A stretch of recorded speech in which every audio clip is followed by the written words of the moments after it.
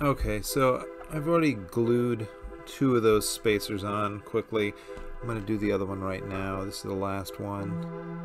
And for this, I'm just going to use some super glue. It's not typically what I would use. Um, I don't really like it very much. But I just need these to not really move. So super glue is going to be fine for right now. So I'm just going to put some on there. Line this guy up. And then give him a little pressure.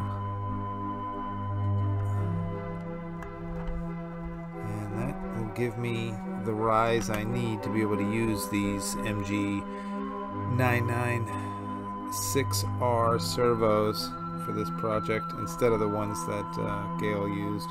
I don't remember which ones those were, but they were shorter, so they fit into this this bed, and hopefully it's not going to make them too tall. I don't think. Um, I think they fit fine in there. They weren't going to be too tall and rub against the inside of the housing of the arm.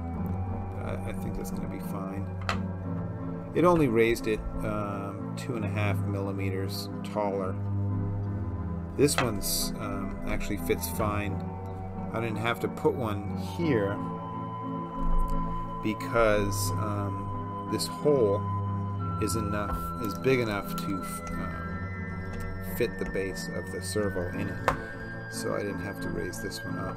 But yeah, these are all set now. These give it another minute, and these will be um, seated enough that I'll be able to start putting the servos in, get the servo bed back in the arm, and uh, get this project back to where it was a week ago. You can hear um, our other robot in the background talking. Maybe, if the microphone picks it up. So yeah, the bed's going to go in there like that after I get all these servos in and I'll lock that down into place and I'll start um, getting these tendons back. But I'm just going to give these a couple minutes before I start installing servos. So I'll be back. Just a minute.